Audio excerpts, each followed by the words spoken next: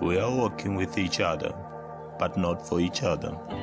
It's possible, but not easy. It's difficult, but doable. Far, but attainable. Risky, but worth taking the chance.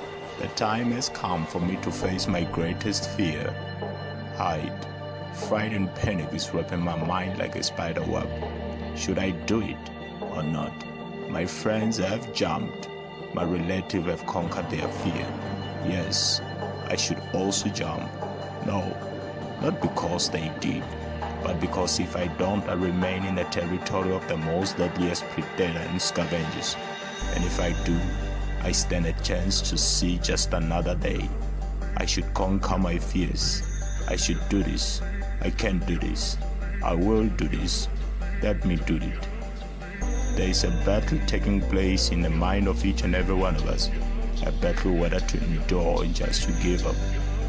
I will conquer my mind like Jesus did in Gethsemane. The greatest war ever waged against Jesus wasn't when they sought to kill him as a newborn baby. That was on God's hands. It wasn't when the oppositions were declared before he could even walk. He had no idea about it. It wasn't when his mother father denied him to go to the temple alone. That was just the mother father protection. It wasn't when he was tempted in the wilderness. The Holy Ghost got it under control. It wasn't when he was rejected on his first sermon. He vanished away from them. It wasn't when storm rose while he was asleep. He woke up and stopped it. It wasn't when he was called false. He knew who he is. It wasn't when Judas betrayed him, nor when Peter denied him, for he had foresaw it and foretold it. It wasn't when he stood before Pilate. He knew he was the King of Kings. He was beaten, he was bruised, but that wasn't the greatest war ever brought and waged against Jesus.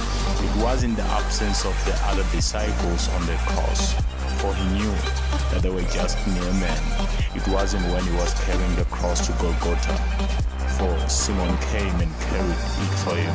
It wasn't when he was dying on the cross, for he knew he is the resurrection and the life, and that he would rise again on the third day.